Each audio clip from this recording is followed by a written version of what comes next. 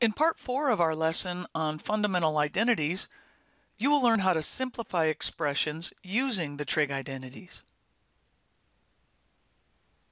First, a short algebra review.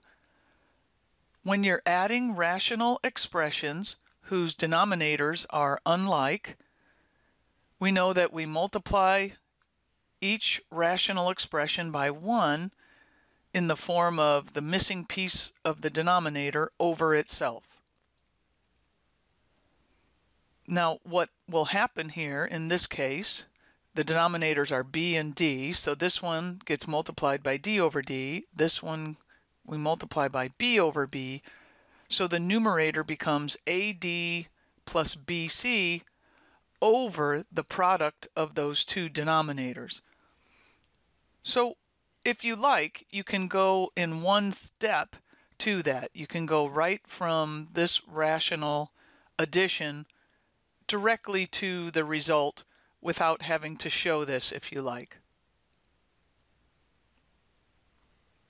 Now where this could get used is in an example like this one, where we have to simplify the expression so that only sine theta and cosine theta remain.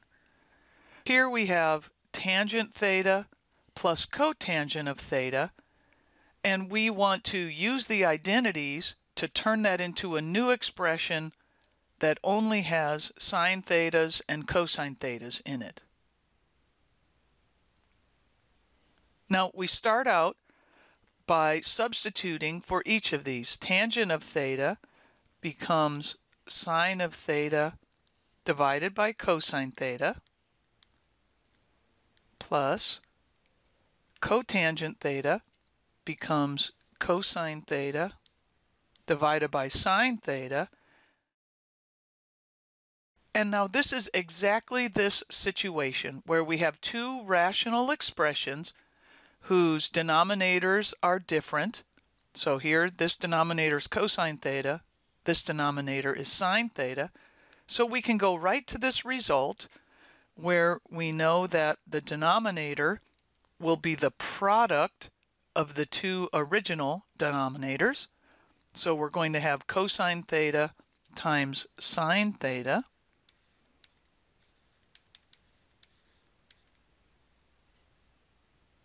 And the numerator will become the sum of these two products here. So you can think of it like a little x. We got to take a times d and b times c.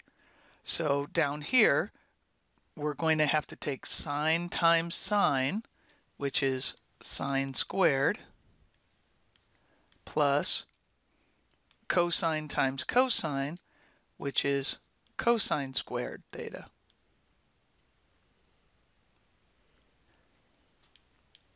Now we can use the Pythagorean identity that says sine squared of theta plus cosine squared of theta is equal to 1. So the numerator becomes 1 and the denominator is cosine theta times sine theta.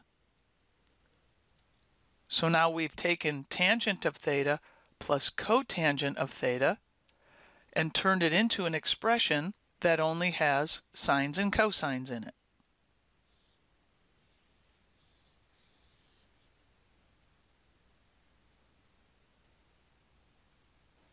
In this example, we have to simplify cosine squared of x minus sine squared of x over cosine of negative x minus sine of negative x. So first, let's work on that denominator. So I'm going to leave the numerator alone for right now. We know that cosine of negative x, one of our negative angle identities tells us that that is just cosine of x minus sine of negative x is negative sine of x. So this denominator becomes cosine of x plus sine of x. Now this numerator here, we need to recognize that this is just some algebra factoring. If we have a squared minus b squared, we know that that factors to a plus b times a minus b. So applying that algebra rule to the numerator here, we're going to get cosine of x plus sine of x times cosine of x minus sine of x. And now we see we can cancel the cosine of x plus sine of x in the numerator with the cosine of x plus sine of x in the denominator, and we are left with cosine of x minus sine of x.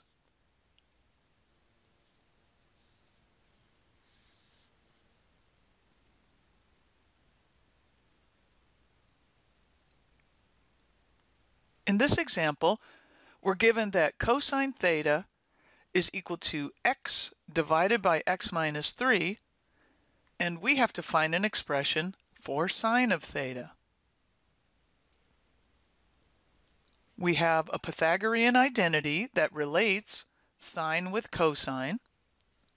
So we know that sine squared of theta is going to equal 1 minus cosine squared of theta. And then by the square roots property, we know that means that sine of theta is going to equal plus or minus the square root of 1 minus cosine squared theta. And now we can substitute in this value for the cosine. So this becomes plus or minus the square root of 1 minus x over x minus 3 quantity squared. So we get this equals to plus or minus. We know that we're going to want a common denominator, which is x minus 3 squared. So just to help you see it, we look at this second fraction as x squared over the quantity x minus 3 squared. So then I'm going to take 1 and write it in the form of quantity x minus 3 squared over itself. We know we need that common denominator to subtract these two. So this equals plus or minus. I'm going to leave my denominator as x minus 3 quantity squared since it's the common denominator. Now in the numerator I'm going to need to multiply this out and then combine like terms. So this first piece here, of course we'll be using the rule from algebra that says a minus b quantity squared is equal to a squared minus 2ab plus b squared. We're going to apply that to this term here, and we get x squared minus 6x plus 9. Then we have to subtract x squared. And we see we're going to get plus or minus the numerator is going to be the square root of negative 6x plus 9. And in the denominator, we're taking the square root of x minus 3 squared, so we know that would be plus or minus, which we already have, we don't need to write it again, x minus 3. So here's our result.